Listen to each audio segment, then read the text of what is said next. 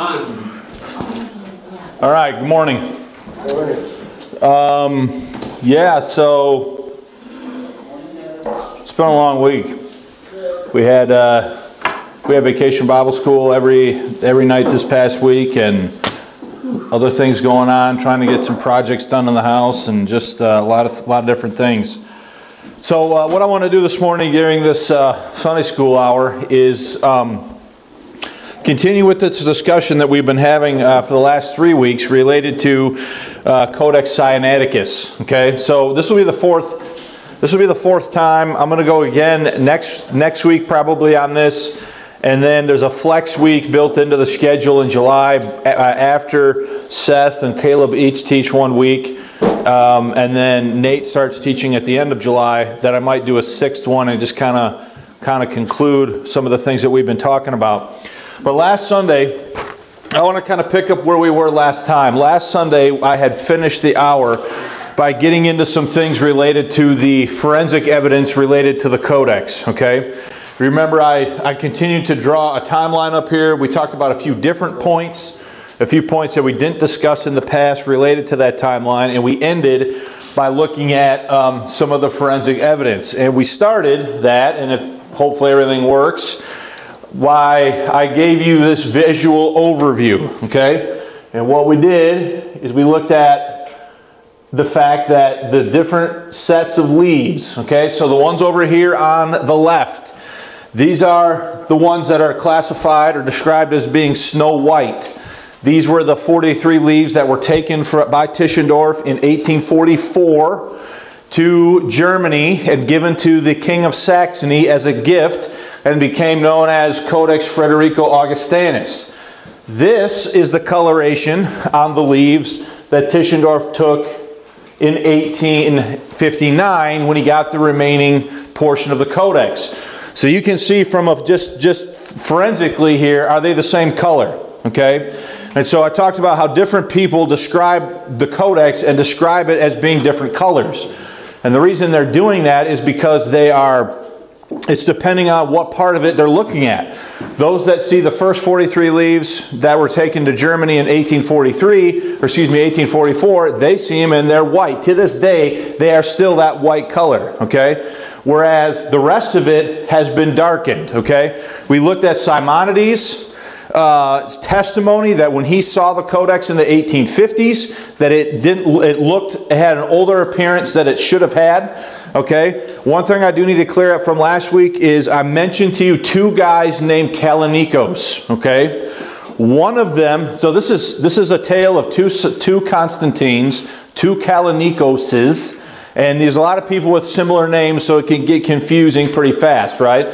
But there was a guy named Kallinikos who knew Simonides was friends with Simonides, and, and he was in Alexandria, and he wrote the British newspapers in the 1860s to corroborate what Simonides was saying. He testifies to having seen someone, maybe even Tischendorf, darkening the codex. Okay? So this is just the forensic reality here. Okay? So then I showed you a couple other pictures. Uh, parchment color So again, it's important for you to realize that the, these, these different pictures and so forth, these are based upon what still exists today. So if you notice in this sort of conglomerate photograph of the entire codex, you will notice that there are, there are leaves that are distinctly what? More white than the other ones, right? These are the 43 leaves that were first taken by Tischendorf to Germany in 1844. The rest of it is what is now in possession of the British Museum that was taken in 1859 to St. Petersburg, Russia. Okay? So, and then we also saw here just the difference. So these are contiguous pages, right? So this would be, if, if you were, if you had a book open, if you had a book open, this would be like facing pages on the same side, right? So one side of the page is this darker color, the other side is what? This whiter color. Just one second, Tom. And then you can see a few more photographs along those lines making that same point. Yeah. So you may have said this and I may have missed it, but the, the white ones are the 43, the others are the darker. And then can, are we to understand that at some point they've been re-collated back together? They have only been recollated back together digitally on codexsinaiticus.org. The 43 leaves that were taken to Germany in 1844 are still in Germany. Okay? So they have only been assembled together through this project that was done by the British Museum online. Okay? Another question I got during the week from uh, Mike Erspalmer was well, what about is there a different way to explain why those are this different color and in different um, uh, so in other words if these 43 leaves are taken to Germany and these 43 remain in Alexander remain in the desert sands of Sinai, okay, would that explain the different coloration? I'm going to say to you that I do not believe that it was. It would. Because for the following reason. Number one, one of the big stories you always hear about the reason why Codex Sinaiticus exists at all by those making the traditional argument that it's from the 4th century or from like 3 from 325 to 350 AD is because it was in an arid, dry desert climate, which meant the pages didn't what? Didn't deteriorate. Well, these pages are taken back where? Germany. To Germany into a more humid climate, and I don't know, they didn't have air conditioning in 1844. They didn't have any of that stuff. And so it, it doesn't make sense to me that the pages taken to the human climate of Germany would survive in a better condition than the ones that remained in, in, uh, in the sands of Egypt for an extra 15 or 16 years. Okay? So you have, you have those forensic things, okay? And then we started we started talking about the actual uh, codex itself. And this one I've got up here, um, this is an example, folks, of what I'm calling unnatural wear. You will notice that that particular page is at an almost exact cut, at almost an exact right angle. Okay, same as on, same as on this side here. This is indicative not of natural wear and tear on a piece of parchment, but this is indicative of some blunt force trauma being enforced on the codex. So in other words, let me, let me show you that one and then let you compare one. So I'm going to go to quire uh, 10. Whoops. I'm going to go to quire 10, uh, folio 1. And, okay, maybe there isn't another one. I took notes on this stuff this morning. Hopefully the website will cooperate this time. It says it's doing something. Now, the point is, would you expect the nat- would you expect naturally over time a thing to wear away at an exact at an exact right angle? No.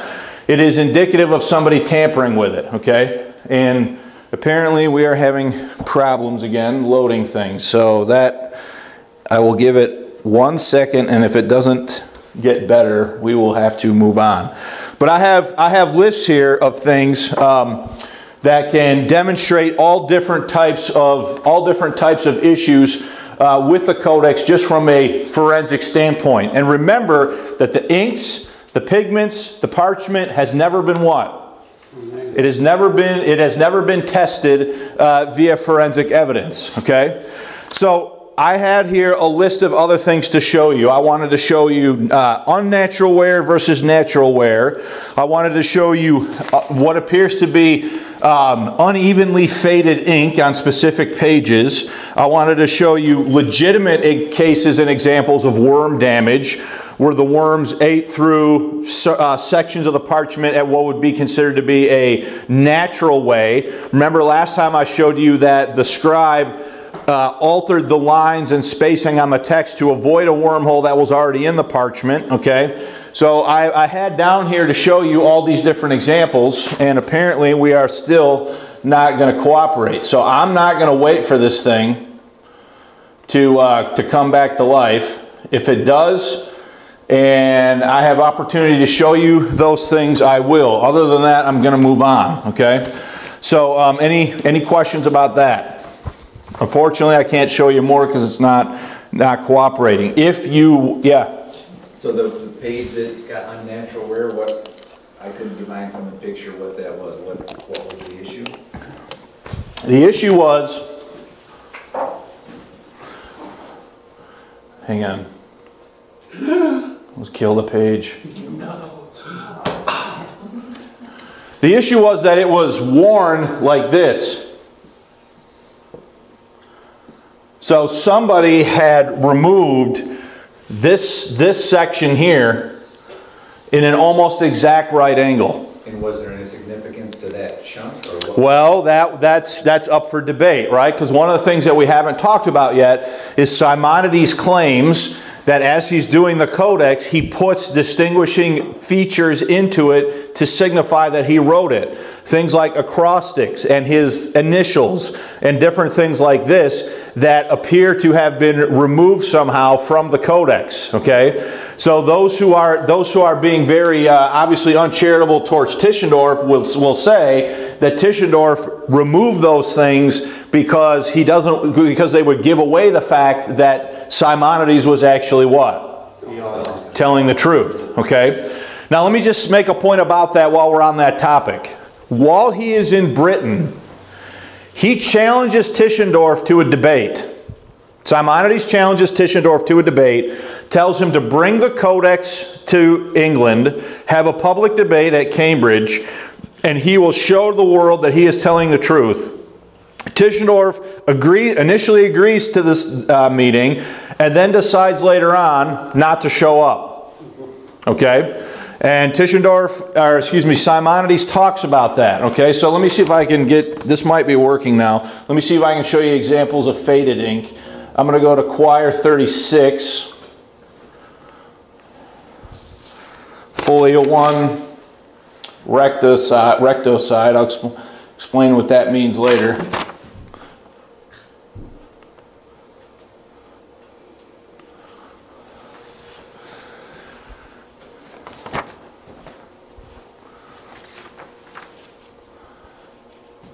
So you can see on this, I think, pretty clearly that the ink is what? Faded in spots. The ink is spot. The ink is faded in spots in an uneven way. Okay. Now this this could signify places where somebody was what? Rubbing it or rubbing, doing something to it to make to make the page to darken the page to make the page look what? Older. Okay, so there's all of these sorts of things. Uh, I showed you the example of candle wax, one example of candle wax. I, I want to show you one more where I think it's candle wax, but there's some blemish in the page. And the scribe, this time, interrupts an entire word Go to go around it. That's the verso sign.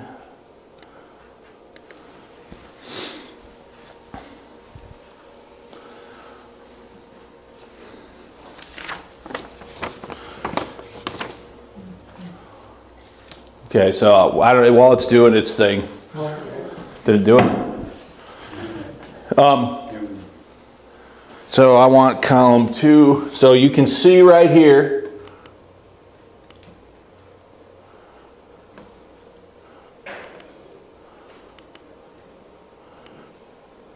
See this right here? These are the first two characters of a word, then you have the blemish, and then you have the rest of the word on the other side. Okay?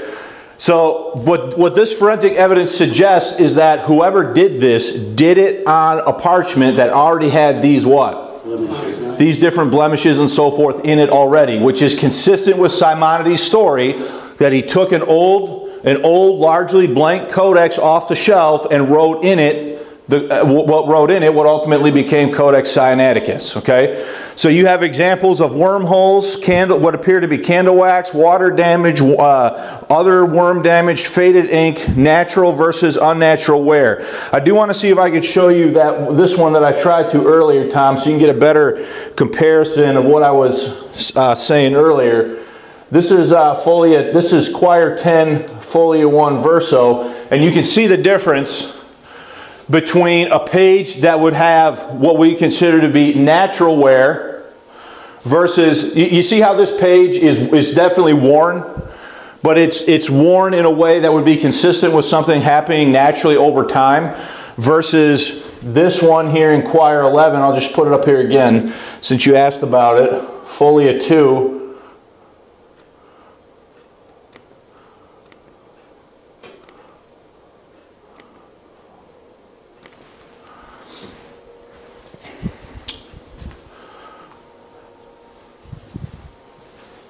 Gotta love when the technology's just Johnny on the spot. So while we're doing that, let me talk to you about this issue of quires and folios, because this is going to be um, an important thing as we look at what I want to get into about Mark 16. So while you're waiting, I, I have to give credit for what I'm about to do to uh, David W. Daniels of Chick Publication in a video he did on Sinaiticus, right? So this, this would be a sheet of paper, right? If you're going to make a book, you would take a sheet of paper and you would fold it in half. Okay? So this would be sheet one or folio one. Okay? And this is the this is the recto side. This is the so if somebody says hold a book right side up, you would hold it like this. This is the right side. And then if you turn the page, this would be the verso side. Okay?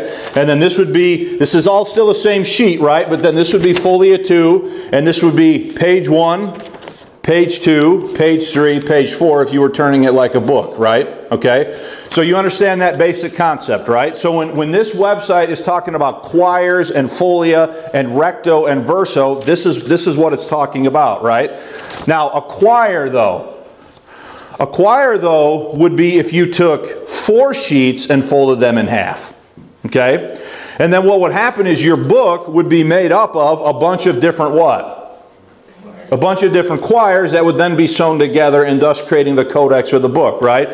So in this particular case, a quire with Codex Sinaiticus, a quire equals four sheets. Those sheets folded in half equal eight folia, which equals how many pages? 16 pages, right? So if, if you just if you just turn through here, you would see I've got the pages numbered. You would see that you'd have one. You start with page one, and by the time you were done with this quire, you'd have how many pages? You'd have 16 pages. Okay. Now, why is that important? Come with me if you would to go. If you have your Bible, open quick to Mark 16.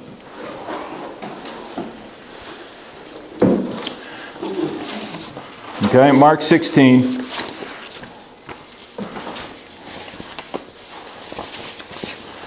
Try to get my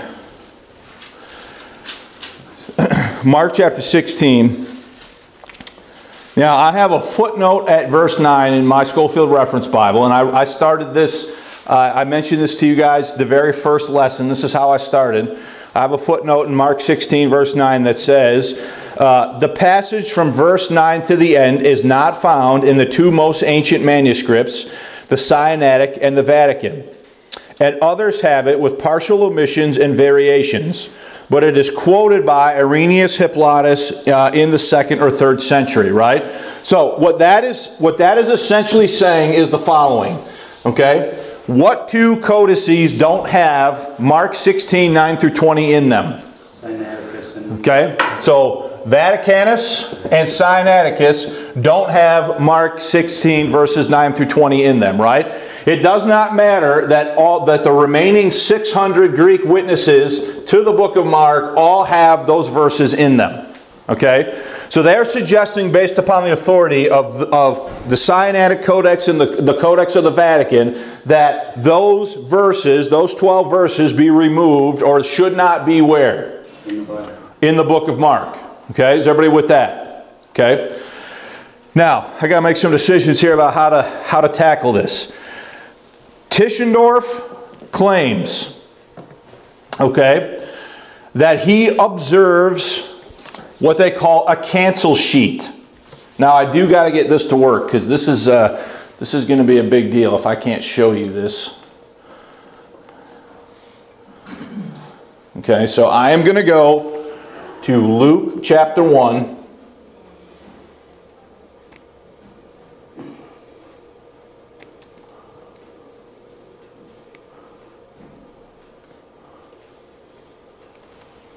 Come on. Just thinking.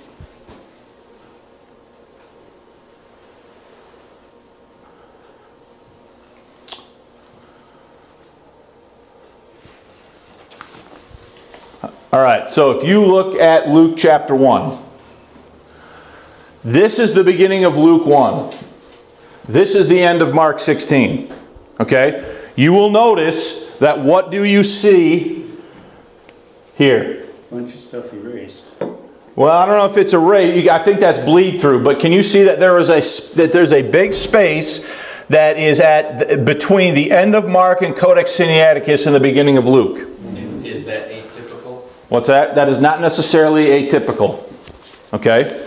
Now, Tischendorf describes what he, what he claims is a cancel sheet. Okay? So if I've got a quire here, like I just explained, right? He is saying that a scribe removed the sheet from the codex and reinserted a new sheet to cancel out to cancel out what was what was originally there. Okay?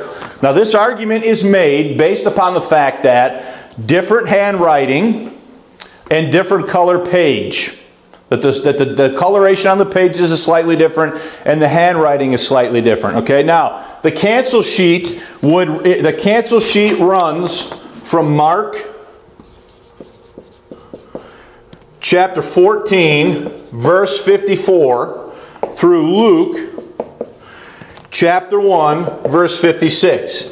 Now, why would that be? Because you have you're dealing with a quire, right? So, and it's the it's the it's the middle page. So that means that wherever wherever page 6 ends, he's got to start the next page at the top, right? To make sure that, that, that things aren't off in the quire, right? Well, the reverse is also true. He's got to make sure that wherever page 10 ends, that it doesn't mess up where page what? 11, 11 starts. So if I remove this sheet from the codex, and I insert a new sheet, am I bound to fit in what I'm doing spatially between this page and this page so that everything else makes sense? Okay, is everybody, is everybody say, uh, understanding what I'm saying? Okay, so Tischendorf claims to have observed a cancel sheet here between uh, Mark chapter 14, verse 54, and Luke chapter 1, verse 56. Okay? Now, I looked at this in great detail, and I'm just going to leave this picture up, number one, because we're having trouble, but number two, because you can check this stuff out on your own.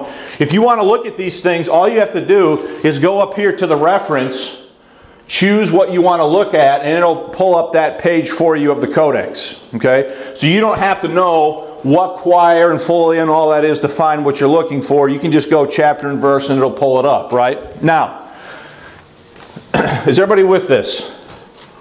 Okay, hopefully you are.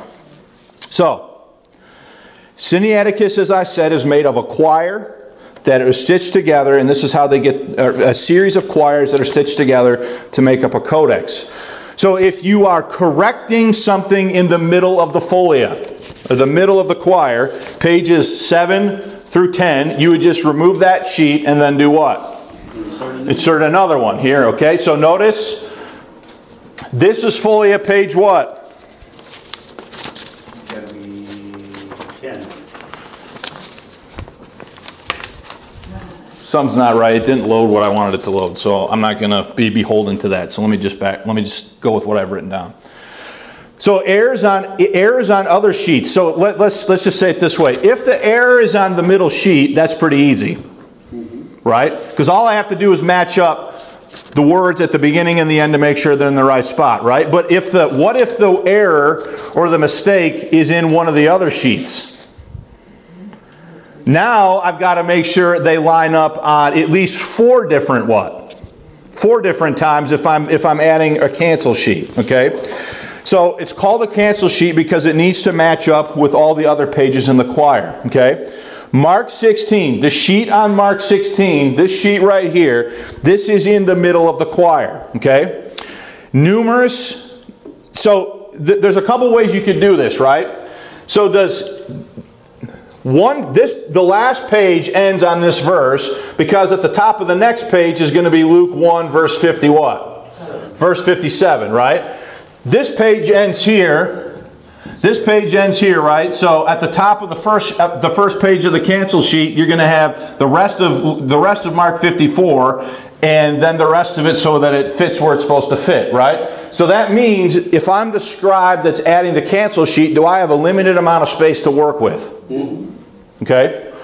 So what people think happened, and I'm just gonna I'm just gonna draw it out this way visually. I don't know if this is the best way to do it or not, okay? But let's say I've got Luke uh, 156 here. Okay? So that means, and I've got a, and I've got a, up here at the end of my cancel sheet, I need to have Mark uh, 14, the rest of verse 54. And so I'm, I'm, I'm doing all of that, right? If I'm going to take out the end of Mark 16, do I have to leave a significant enough amount of space but still have everything fit the page? Is everybody with that? This is all based upon the science of stick, stick, stichometry, which counts the, the, the height of the letters, the number of characters per column, all of this stuff, and you can count all this stuff out, right? So the idea is that the scribe worked backwards to the beginning of Luke,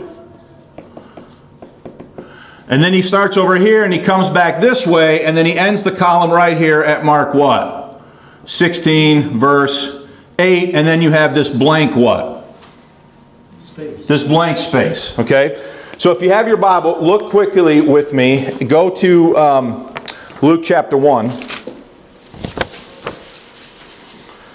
So the idea is that he measures out the space for Luke first. Okay? And what he ends up doing here is, he, in the space for Luke, he ends up compressing the letters. So he ends up having more letters per line in Luke, in the Luke section of the cancel sheet. Okay? And there are, uh, there are 200 more letters on these pages than there are on the, on the rest of the codex. Okay? So what's he doing? He's compressing it in to get it to what? To get it to fit, right? But one of the problems is he realizes that he's compressed it now too much, and now over here he's got too much what? Space. Too much space, okay? So over here, there are fewer letters per line. To make it bigger. To make it bigger, to fill the space, so that he gets everything to what? Fit and line up where it's supposed to line up in the quire. is everybody with that? Okay, now, there is significant evidence here that this was done in a hurry. Okay? Come over, come with me to Luke chapter 1, verse 26. Now, is Luke chapter 1, verse 26 part of the cancel sheet? Yes. Yep, it fits in the, in the range of verses. That would be part of the cancel sheet. Luke chapter 1, verse 26.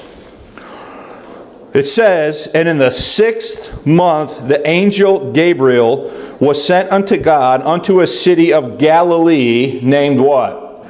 Nazareth. Okay? The scribe made a mistake on verse 26 in Codex Sinaiticus, and it says, In the sixth month the angel was sent from God unto the city of Galilee of Judea. Or no, wait a minute. Uh, Nazareth, excuse me, of Judea, not Nazareth of Galilee. Okay? Now that is an error of 70 miles difference in, ge in geographic terms, right? Okay? No other manuscript in the world has this error in this verse. The only one that has this error in this verse is this codex, is this codex right here. Okay? Another example, go to Luke chapter 1, verse 41. Luke chapter 1, verse 41. And it came to pass that when Elizabeth heard the salutation of Mary, the babe leaped in her womb, and Elizabeth was filled with the Holy Ghost. Okay? At verse 41, Codex Sinaiticus adds some words to the text here. It says, And it came to pass that when Elizabeth heard the salutation of Mary, the babe leaped in her womb for joy. And Elizabeth was filled with the Holy Ghost. The insertion of the words in Greek for joy is added into that verse at that spot, and no other, no other manuscript in the world makes that insertion. Okay? So what this is what this is seemingly demonstrating is that whatever happened here, it was potentially done in a what? In a hurry, and that mistakes were made as it was done. Okay? Now the question then is, well, what in the world is going on here? Okay? What is going on here? Why? How could this be the case? Okay? Because, Brad, would you mind shutting that door for me? Now, we already know. What are some things we already know? We already know that in 1856, Simonides published The Shepherd of what? Hermas. We also, already know that that same year, Tischendorf wrote and said that it was a modern what? Modern creation. Everybody remember that? Okay? We know that Tischendorf found the remaining leaves of the Codex in 1859, and we know that in 1860 he wrote and said that, well, her- that what Simonides did had to be old because it was where? In there. Okay, so let me just remind you about that. So this is a this is a piece from 1863. It contains in it Tischendorf's statement from 1856. Constantine Tischendorf, 1856. This is him saying that Simonides Hermas is a fake and a modern creation. Okay? Then he just then he finds the Codex, and this is him in 1860 saying that he was mistaken about this Hermas that Simonides did because he finds what in here? What does he find in this codex? He finds a copy of, he finds a copy of the Shepherd of Hermas, right? And so he's got to retract and recant in 1860 what he had previously said in 1856, right? And then he does it again in 1863. We've been over that already. Is everybody with me so far? Okay? Good. I don't know, I'm running out of places to put stuff. Okay? So,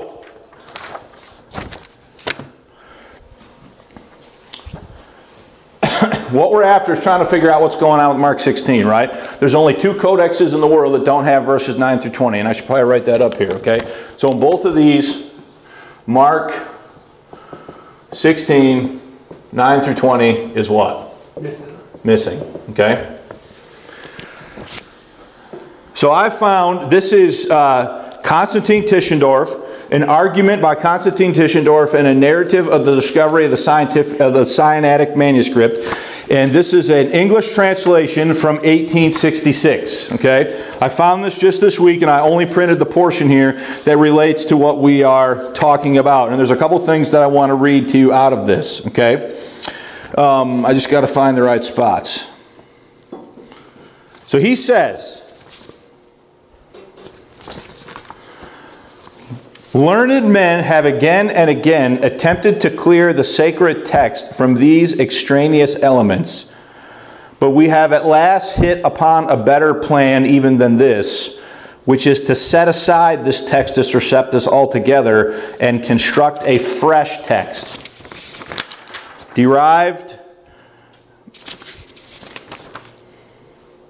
derived immediately from the most ancient and authoritative sources.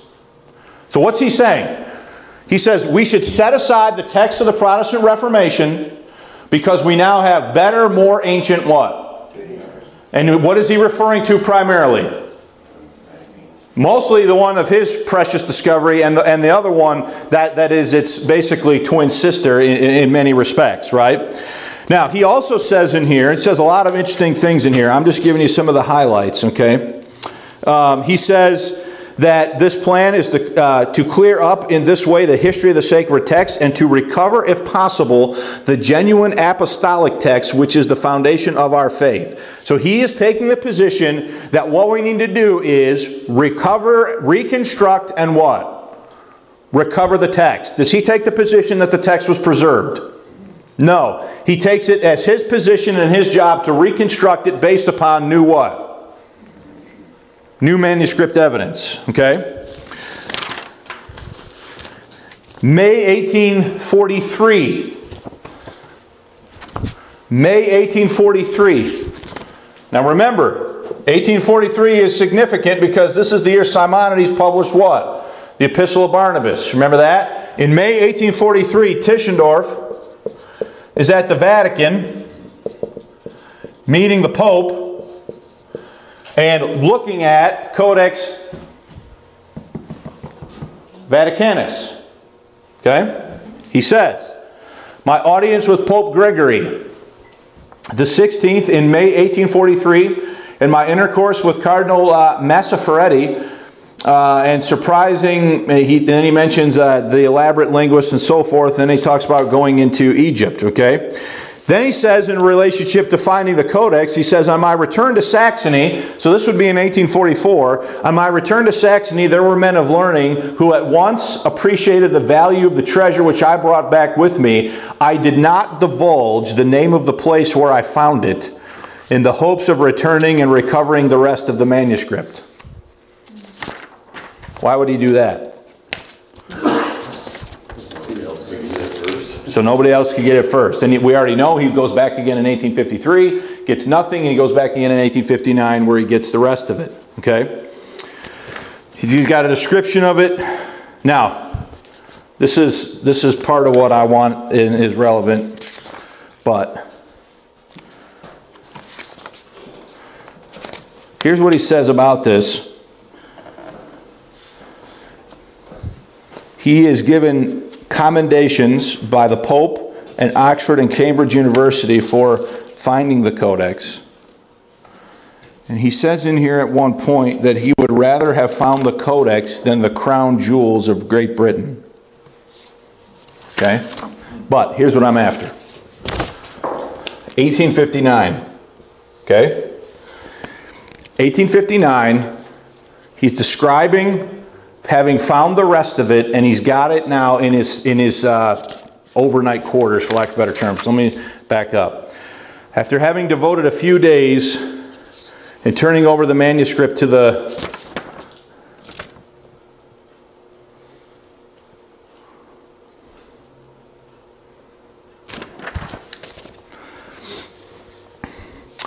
On the afternoon of this day, I was, I was taking a walk with the steward of the convent in the neighborhood, and as we returned towards sunset, he begged me to take some refreshment with him in his cell. Scarcely, now, notice, in his what? Cell. Now, what did we learn last week? So, according to Tischendorf, this guy now, in, in 1859, he invites him into his what? Cell for tea. Okay? Scarcely had, they, scarcely had he entered the room when, resuming our former subject of conversation, he says, I too have read the Septuagint, i.e., a Greek copy, a Greek translation made by the 70. And so saying, he took down from the corner of a room a bulky kind of volume wrapped in a red cloth and laid it before me. I unrolled and discovered to my great surprise not only those very fragments which 15 years before I had taken out of the basket, but also other parts of the Old Testament, the New Testament complete, and the addition of the Epistle of Barnabas and part of the Pastor of Hermas full of joy, which this time I had, I had self commended and concealed from the steward and the rest of the community, I asked, as if, a, as if in a careless way, for permission to take the manuscript to my sleeping chamber to look it over at my leisure. There, there, by myself, I could give way to the transport of joy which I felt. So he's like, Well, I'm not going to act like I did the first time because when I acted like I did the first time, they locked this thing away and I never saw it again until I had to come back again, right? So I've learned from my first experience and I'm not going to do that. I'm going to bring it back to my room and have a party. Okay? I knew I held in my hand the most precious biblical treasure in existence, a document whose age and importance exceeded that of all manuscripts which I had ever examined during, the, during my 20 year study of the subject.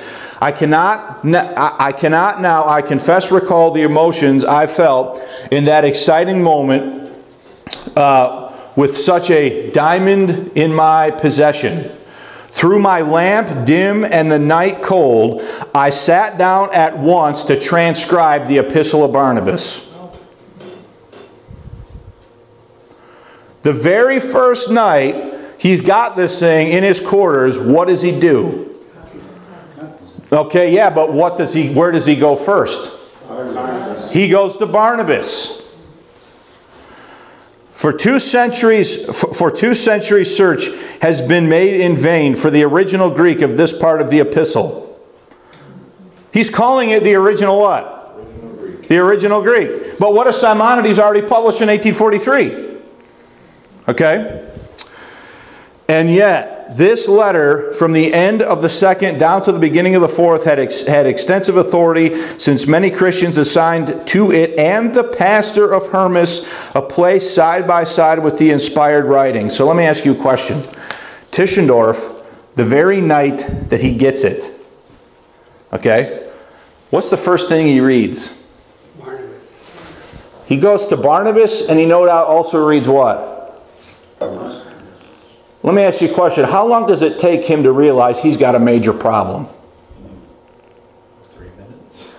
I don't know the exact time, but his, he already said that Hermas is not old, that Simonides wrote. And what does he find in this thing in 1859?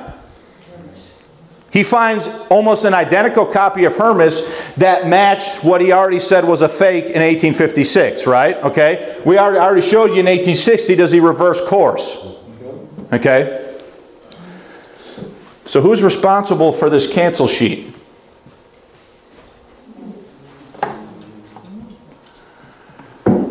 I'm going to suggest to you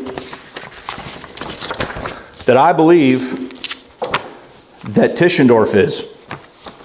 And that he either did it or knows who did it and had it ordered. And the reason for that is the following. Does he have a major problem with the Epistle of Barnabas and the Shepherd of Hermas? So if he's going to make the argument, oh, I've, let, let me also say, well, see, I got all this stuff running through my head, and I. So what I have here, this is this is the New Testament in the original Greek. This is the Westcott and Hort text. This one is published in 1882. This is the first American printing, and it has an introduction by Philip Schaff. Okay? And he says the following about Codex Vaticanus. He says, it was first printed under the supervision of the celebrated Cardinal Angelo Mai, but it was not published until 1857. Now, let me ask you a question. Where was he in 1843? He was at the Vatican. In 1843, does he see Vaticanus under the supervision of Cardinal Mai? In 1857, Cardinal Mai publishes Codex Vaticanus. In 1859, Tischendorf finds Codex Sinaiticus and goes immediately, the first night he has it, to the Epistle of Barnabas and the Shepherd of Hermas, right? The very next year, he issues a retraction saying that what he said about Hermas wasn't accurate and that the Hermas, that's, that, that this Hermas, as well as the one found in the Codex, have to be what? Old. old, right? So, what is one of the quickest ways that he can bring this into agreement with this and thereby close the circle that this is an ancient codex? He can alter Mark's, he can have Mark 16 altered in one of its clearest, most discernible, distinguishable readings. Okay? Philip Schaff says, let me also say this. This is the New Testament Vaticanum. This is the New Testament of Vaticanus, and notice whose name is on that. Right here. Can you read that? Right here. Constantine what? Tischendorf. In 1867, Tischendorf publishes his own copy of what? New Testamentum Vaticanum. Okay? When he finds this thing in 1859, is he already aware of what's in Vaticanus? He saw it himself back, or part of it back in 1843, and Cardinal Angelo, Angelo Mai, two years before, had he published a facsimile of the Codex. Does a guy like Tischendorf pay attention to this kind of stuff? Okay? Philip Schaff says, just got to find the right page.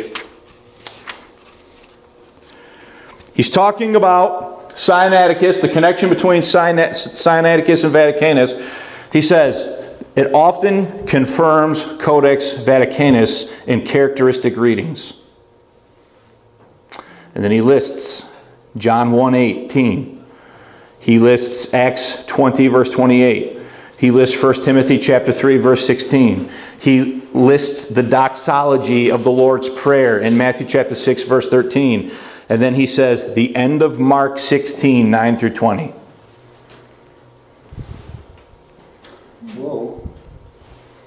Now, who knew he was up a creek and had to alter his course about, about Hermas? Who knew what was in Codex Vaticanus?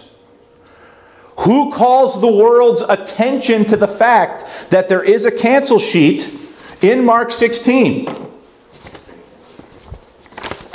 Tischendorf, once in 1844, and a second and a first time in 1867 in New Testament in uh, Nuevo Testament Vaticanum. Okay, so understand who's who's saying, "Oh, there's a cancel sheet there." Tischendorf. Tischendorf himself is saying there's a cancel sheet there. Stichometry, James Rendel Harris, 1893. How much? Now you got 15 minutes. Page 72. Is generally held today that Tischendorf was justified in recognizing that the Sinaitic, in the Sinaitic Codex, traces of the same hand that wrote the New Testament in the Codex Vaticanus. So Tischendorf says that the same hand that wrote sections of this wrote sections of this. Now, why would he say that? Because he's trying to, he's trying to make sure these two are what? linked together. Okay? So it is generally held today that Tischendorf was justified in recognizing the Sinaitic Codex, the traces of the same hand as wrote the New Testament, the New Testament portion of Vaticanus. So he's saying that the same person that wrote the New Testament in Vaticanus wrote sections of Sinaiticus. Is everybody with that? Okay? And this is a most important point and one that settles if it be correctly inferred, both the unity of time and the place in the two codices. So he's saying that if, if what Tischendorf said is true, then that means that these things came from the same one. Source. The same source, the same time, the same what? Person. Place, and therefore they are both what? Fake. Old. He didn't, he, didn't say they're fake. He's saying therefore they're both what? Old. Okay? According to Tischendorf, there are in Codex Sinaiticus six cancel leaves of the New Testament which have been rewritten by another hand. The hand, namely, that transcribed the books of uh, Judith and Maccabees and so on and so forth, right? The apparent evidence, the evidence for this is Tischendorf's eyes and Tischendorf's judgment. So the only reason we should believe any of this is because Tischendorf what? Said so. Now think about this, folks. Before 2009, where, well, before the British Museum bought Codex Sinaiticus in the 1930s, where was Codex Sinaiticus? It was in the middle of St. Petersburg, Russia, in the back of beyond of Europe, where you would take time, money, and a lot of things to go over there and look at it. And the only thing people are using here during the revision are facsimiles. They're not actually using the actual what? They're not actually using the actual codex, right? And so they're judging based upon Tischendorf's judgment that these things have the same source, time, and place, provenance, origin. Is everybody with that? I got to move quick. So, the evidence for this is Tischendorf's eyes and Tischendorf's judgment. The hands are apparently the same, okay? On such a matter, Tischendorf's opinion is of the greatest weight. Now, one of the sections that he says that they, he just so happens to mention as one of these six cancel sheets is our little cancel sheet where? Mark. Mark. Okay? On such a matter, Tischendorf, okay, consequent, consequently, most people, even if they have not seen the Sinaitic Codex, accept his judgment. Then he gets into Mark 16. The interest of question is much, is much intensified by the fact that one of the cancel sheets is that which contains the closing passage of St. Mark, okay? Where Codex Vaticanus and Codex uh, Sinaiticus both show a remarkable omission. The coincidence is a curious one, and many people, naturally enough, refuse to believe that it is accidental. They say we have the scribe of B twice over for the remission. Now, here's the thing about Tischendorf. Does he claim that this is a cancel sheet? Does he claim that they're written in the same hand? Does he claim that this cancel sheet for Mark 16 is written in the same hand that did the entire New Testament Codex Vaticanus? The answer is yes. That's what he said. Has anybody seen Codex Vaticanus? Has anybody seen Codex Sinaiticus? Or are they just taking Tischendorf's word for it? You can have to take his word for it. Now, William Cooper, who wrote the Kindle book Forging Codex Sinaiticus, and uh, Dr. David Sorenson, who wrote Neither Oldest or Best, they both say, they both believe Tischendorf. And they say that, well, if he's responsible for the cancel sheet, why would he, why would he tell everybody about it? I'm taking the exact opposite opinion. Why do they say that everything Tischendorf says can't be trusted except in this one case? Now, here's my argument. What did he say about Hermas here? When he finds this, the first place he goes the very night he has it is to Barnabas and ultimately, no doubt, to where? Hermas. Does he have to know that he's got a problem? Does he reverse course here in 1860 on what he said about Hermas here in 1856? Okay? Has he already seen portions of Codex Vaticanus in 1843? And then has he already, no doubt, looked at the ones Cardinal Mai published in 1857? And so he's got a problem here. So the quickest way to bring, to close the loop on this is to have Mark 16 altered, say it's a cancel sheet, say the same hand did it in Vaticanus, and there and nobody's going to what? Argue with you. Nobody's going to argue with it. Okay? And when, by the time you get to the revision committee in the 1870s, they are using a copy of Vaticanus and facsimiles of Sinaiticus that are both produced by who? Tischendorf. Now, I, I'm not necessarily thrilled with the, the smoothness of this particular lesson, but is everybody at least following what I'm saying here? I submit to you that Tischendorf had Mark 16 canceled and re- rescribed so that it would match the unique reading in Mark 16 that he already knew was where? Because does he already have a problem for arguing the antiquity of the Codex based upon the Shepherd of Hermas and the Epistle of Barnabas?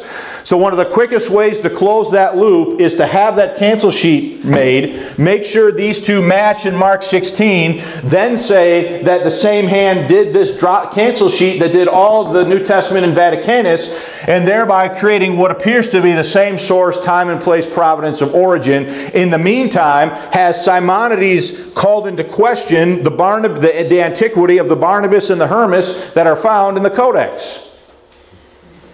And who's the guy that has access to all this stuff? It's Tischendorf. Did the monks at St. Catherine's do it? No. Okay. But those, but those who, so I'm reading again from Randall. But those who accept Tischendorf's identification will go a step further and try to assign a common origin. Thus, Dr. Hort says in his introduction that he is inclined to believe that both manuscripts were written in the West, probably at Rome. Have Westcott and Hort ever seen a day in their life, the original Vaticanus in the Vatican Library, or the one that's in St. Petersburg under the auspices of the Russian government? No. And they are reconstructing the text based upon facsimile reproductions that have ultimately been produced by the same guy.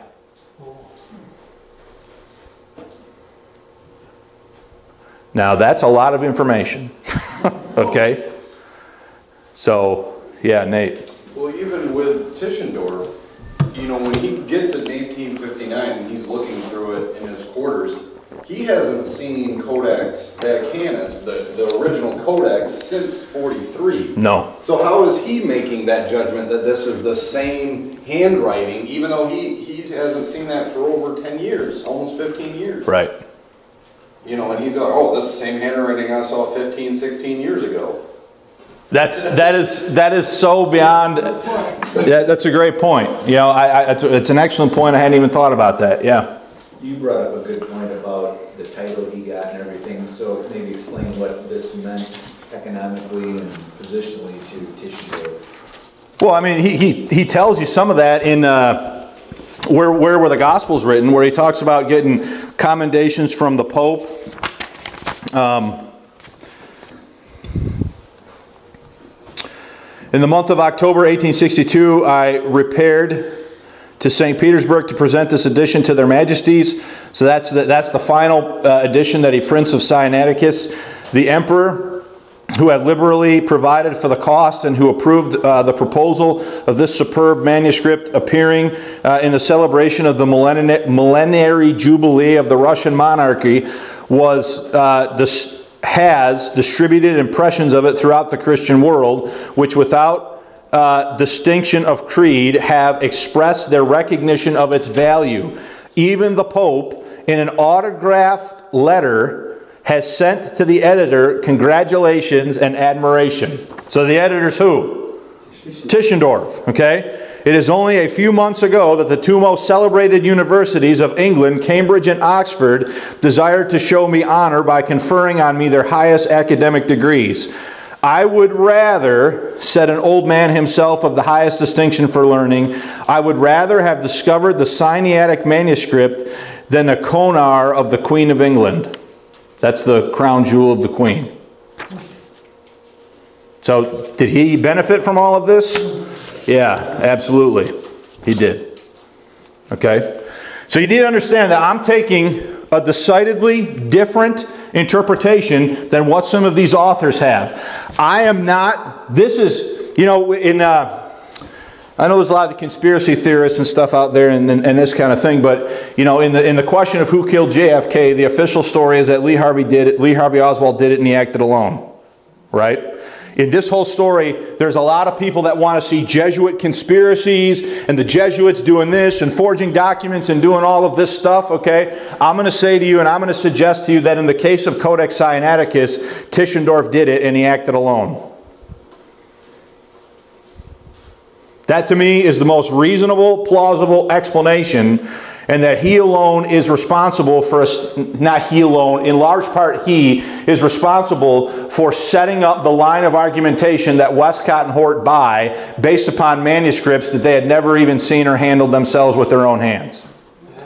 And they are totally trust, trusting the judgment of Tischendorf, as the piece from Randall that I just read to you said. Okay? So, any questions or comments about any of this? I do. I feel like this was very disjointed. Maybe it wasn't as bad as I feel that it was. But um, does anybody have any other things for the good of the order before I have to stop that video? So I, th there's a couple things I still want to do.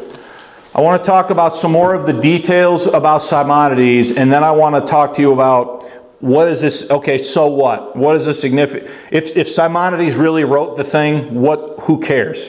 Why does it matter and how is it a big deal if he was telling the truth? I believe at this point, I'm sure you figured it out, that I do think he was telling the truth. I don't think this thing is old. Okay, now what we're going to talk about next time is even if I think it's old, even if one were to think it is old, it's certainly not best. It is absolutely certainly not best. There are over 23,000 marginal notes and corrections in Sinaiticus. It is the most corrected Greek manuscript in existence.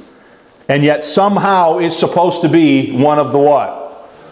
The best. And the only reason they make that argument is based upon how old they say it what? They say it is. Okay, we got to quit. Appreciate your